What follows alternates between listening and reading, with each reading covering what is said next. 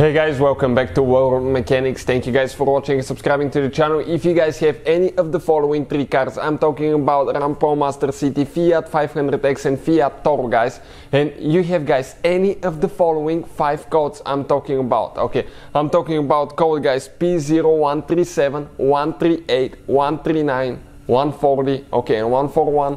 If you have any of these code, we'll explain most likely what causes that. We'll demonstrate on a 2.4 multi-air engine that has been used in all these three cars. Now, even if you have a different engine, the procedure will be very similar, guys. So make sure, guys, you stay until the end.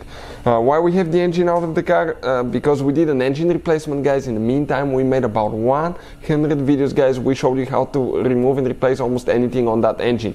Number two, guys, uh, we're in the process of making about 100 videos for common problems, diagnostics, and engine codes. Why we make so many videos? Because our mission in the shop is to save you as much money as we can. All we need in return, guys, please subscribe to the channel and like the video so we can keep providing that free information. Many of you guys constantly ask me in the comment section below, where do you get your tools and parts from? Because we always get a good deals on tools and parts, guys.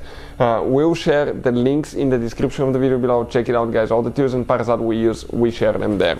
Another thing, you can see more about the scanner that we use the most here the shop you can see our favorite scanner. Okay and we'll talk about that more. It's just charging here right now uh, because we use it all the time. But this is guys the engine right here 2.4 multi-air engine. This is a super popular engine guys. You will have a, a original black upper engine cover you will see ours as we go. I'll show you with the original cover seen from before.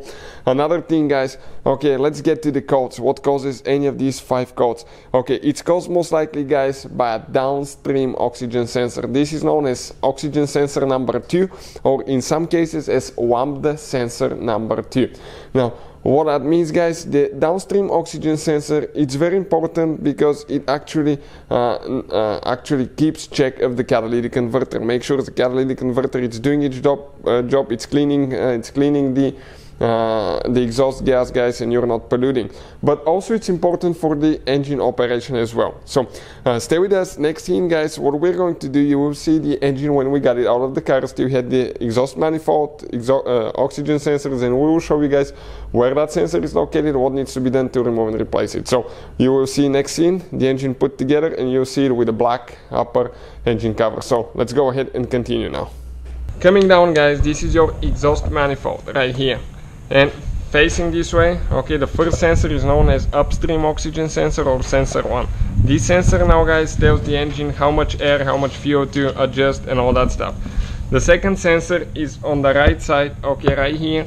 And this is the one guys okay that actually is responsible for the mixture uh, for the catalytic converter excuse me. That one uh, tells okay the computer if the catalytic converter is performing correct so how you guys remove and replace, replace those things? Right here you can see you have the wire. Okay, the white wire is for the downstream oxygen sensor. Press down here. Okay, pull it out guys, just like that. After that, okay, let me show you what else we'll need to use.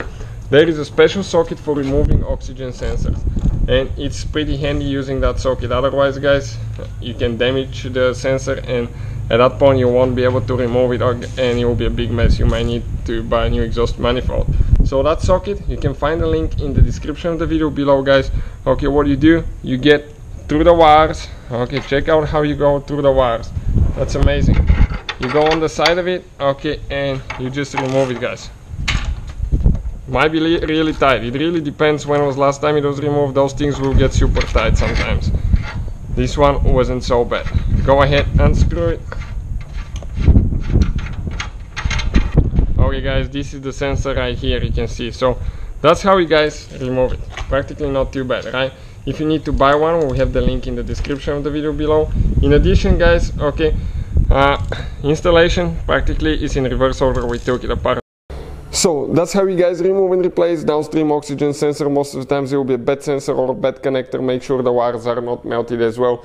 Uh, that's the most common reason guys that we see here in the shop for that code. Also we have three channels guys as you know. Auto Repair guys is our most popular channel and we help more than 65 million people guys. So it's super super uh, growing guys. So check it out okay? We have many videos that can help you. World mechanics is the channel you're watching now and we'll have more diagnostics and electrical videos on electrical car repair life so hopefully the video will be helpful. Thank you for watching and see you guys next time